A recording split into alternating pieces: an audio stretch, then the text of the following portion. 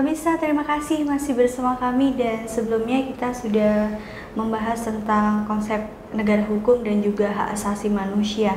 Dan uh, pada dia kita lanjutkan saja perbincangan Oke. ini, Pak. Menurut Bapak, bagaimana sih cara agar konsep negara hukum dan penghargaan terhadap hak asasi manusia dapat diterapkan secara optimal, Pak?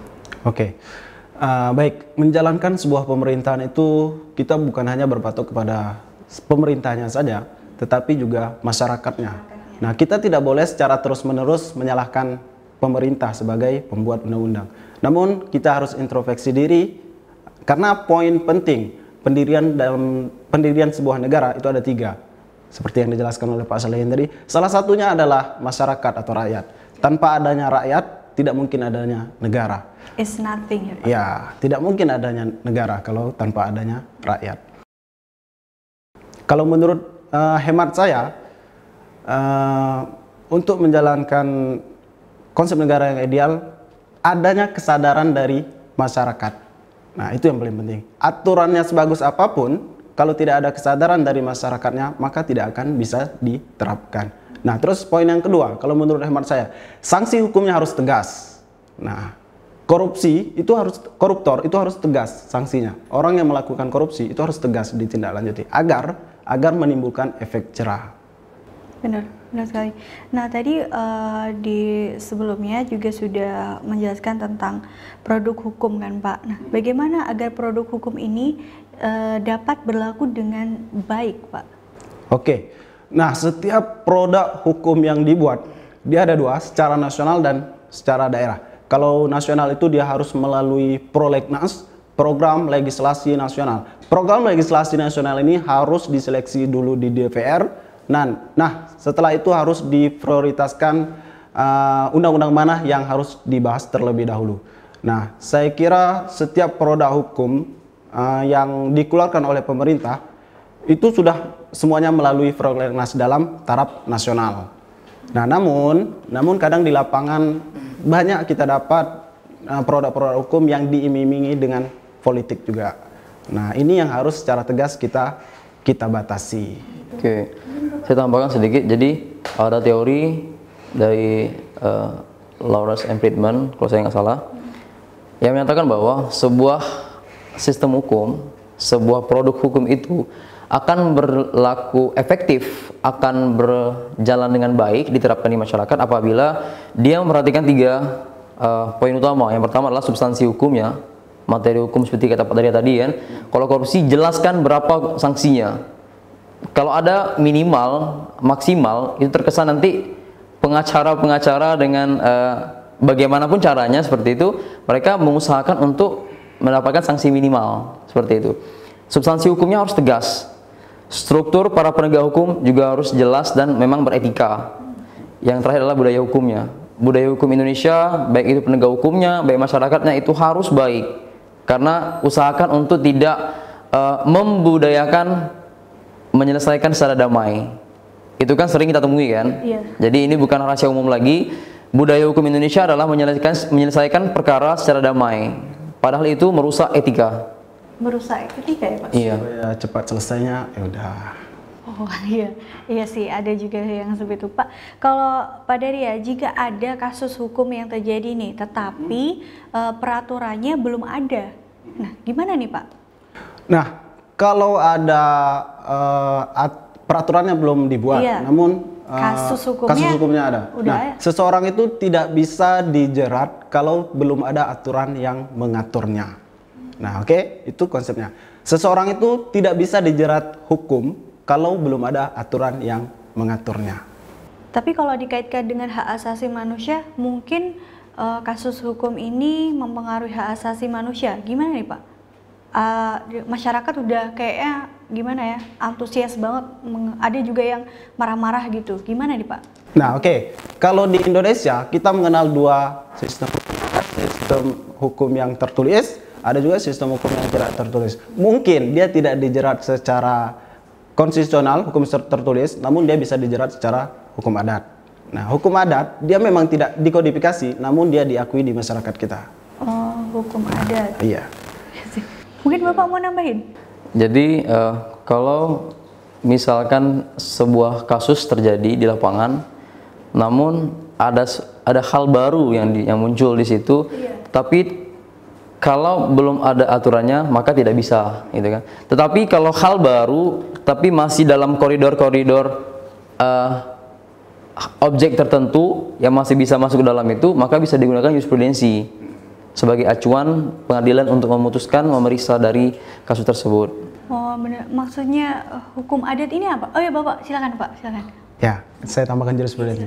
Jurisprudensi itu seandainya dia sudah berada di pengadilan, itu pengadilan tidak bisa menolak bahwasannya tidak ada hukum yang yang mengaturnya. Nah, kalau sudah kalau suatu perkara sudah masuk di pengadilan, hakim tidak boleh mengatakan bahwasannya tidak ada aturan untuk memutuskan hal ini. Tidak boleh. Kalau sudah masuk ke pengadilan, ya, kita berbicara kalau dia sudah masuk ke pengadilan. Nah, Bagaimana caranya? Caranya adalah jurisprudensi. Jurisprudensi ini adalah putusan hakim terdahulu. Nah, silakan hakim memutuskan uh, berdasarkan kepercayaannya. Dasarnya adalah jurisprudensi. Tadi Bapak juga uh, menyebutkan tentang hukum adat. Nah, maksudnya ini hukum adat gimana, Pak? Nah, hukum yang diakui di Indonesia ini ada dua. Yang pertama tertulis dan tidak tertulis. Nah, hukum adat ini, hukum adat adalah hukum kebiasaan yang berada di suatu masyarakat tertentu yang diakui oleh masyarakatnya. Dia juga mempunyai hukum. Dia juga mempunyai sanksi. Maaf, dia juga mempunyai sanksi. Kekuatannya apa, Pak? Kekuatannya berdasarkan apa? Musyawarah dan mufakat. Mungkin musyawarah dan mufakat masyarakat tertentu. Nah, seandainya masyarakat adatnya melanggar, itu ada norma aturannya. Bisa diberikan contoh sedikit ya, tentang hukum adat, Pak? Nah, baik. Uh, contohnya, contohnya salah satu adat yang ada di Indonesia ini. Contohnya uh, orang Medan. Suku Batak. Suku nah, Batak. Suku Batak. Suku Batak itu kan kalau marga Siregar sama Siregar itu tidak boleh menikah orang. Oh gitu ya Pak? Iya. Karena kenapa Pak? Nah kalau menurut adat orang Medan Siregar sama Siregar, Matondang sama Matondang, yang satu marga itu adalah saudara. Oh, jadi, saudara. Ya, jadi tidak boleh tidak boleh menikah. Mungkin ada orang Medan di sini. Nah, tidak boleh menikah. Nah, kalaupun dilanggar, ada sanksinya. Kalau Mbak Ana orang apa? Saya Jawa. Orang Jawa. Jawa Korea. Oh, Jawa Korea. jadi Mbak Jawa Korea. Jadi saya tambahkan sedikit untuk pengaturan tentang hukum adat itu sendiri itu diatur dalam konstitusi Indonesia juga ada. Di pasal 18 itu pengakuan terhadap, pengakuan terhadap uh, keistimewaan daerah. Jadi pengakuan terhadap hukum adat itu memang diatur diakui oleh negara. Sepanjang tidak bertentangan dengan uh, hukum nasional pemerintah benar-benar mengakui ya mengakui. mereka mengakui. Pak Daria? Apa sih kemungkinan yang akan terjadi jika dalam sebuah negara hukum tidak mengakui adanya hak asasi manusia? Oke kalau negara hukum dipisahkan dari HAM nah itu saya kira terjadi di sana uh, hukum rimba. Nah jadi siapa yang punya kekuatan maka dialah yang berkuasa. Karena tidak ada pengakuan HAM di sana Nah, salah satu berdirinya negara hukum itu harus mengakui HAM. Negara hukum tidak boleh dipisahkan dengan HAM. Negara hukum salah satu cirinya adalah mengakui keberadaan HAM. Kalau tidak ada, siapa yang kuat maka dialah yang berkuasa. Iya. Dan, dan itu fungsinya negara hukum tadi. Ketika ada kepentingan A dan kepentingan B, itu hadirnya hukum di situ. Membatasi agar tidak ada konflik ataupun sengketa, tidak adanya penyerobotan hak antara orang A dan orang B, sehingga di situlah munculnya hukum untuk membatasi dan mengatur. Hmm, gitu. Bapak Salihin, bagaimana jika ada kebijakan negara yang dilakukan tanpa lahirnya sebuah peraturan perundang-undangan terlebih dahulu, Pak? Jadi ada kebijakan negara lahir tapi tanpa adanya peraturan perundang-undangan. Secara teori setiap perbuatan itu wajib ada aturan terlebih dahulu. Karena untuk menghindari tadi otoriter dan sewenang-wenangnya pemerintahan. Uh, jika pertanyaan ter terkait dengan uh, jika suatu kebijakan itu lahir tanpa adanya peraturan perundang-undangan terlebih dahulu itu bisa digugat bisa digugat ke Contoh kalau di untuk kebi- kebijakan-kebijakan tertentu bisa digugat ke pengadilan terkait dengan kebijakan tersebut karena menyalahi aturan misalkan seperti itu ataupun tidak ada aturan yang mengaturnya. Ada nggak Pak di Indonesia terjadi seperti itu Pak? Di Indonesia khususnya untuk kasus yang seperti itu banyak terjadi, namun eh, lebih didominan oleh politik karena kepentingan tadi saya sampaikan tadi kepentingan sehingga ketika ada kepentingan pejabat negara pemerintah yang dibuat tanpa adanya aturan terlebih dahulu itu sering terjadi karena mereka berkuasa tadi seperti itu tapi dalam idealnya itu tidak boleh Pak, dari ya kita lihat dari fenomena saat ini Pak melalui berbagai media pengakuan terhadap hak asasi manusia yang diterapkan di Indonesia sebagai negara hukum. Nah, gimana di tanggapan Bapak? Nah, baik. Eh, memang menyampaikan pendapat itu dijamin oleh konstitusi kita. Itu Undang-Undang Dasar 1945 pasal 27, Pak ya?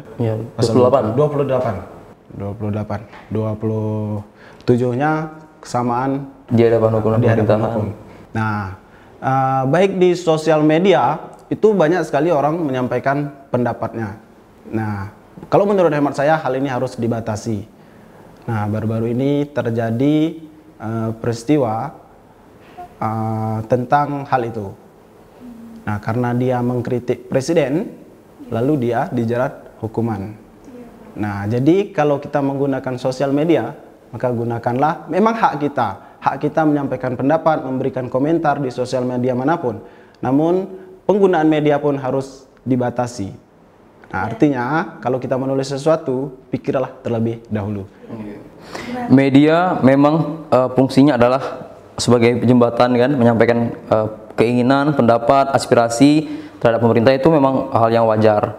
Tapi dalam konteks tertentu kita juga dibatasi untuk tidak mengucapkan kalimat-kalimat yang membuat orang lain sakit hati, membuat orang lain eh, terprovokasi sehingga ikut me- ikut menghujat seseorang. Ya, Karena praktik sekarang ngebully eh, dan sebagainya itu dimuncul dari media sosial. Media sosial bagus jika digunakan dengan baik karena media sosial bisa menyampaikan aspirasi masyarakat dari pelosok mana pun.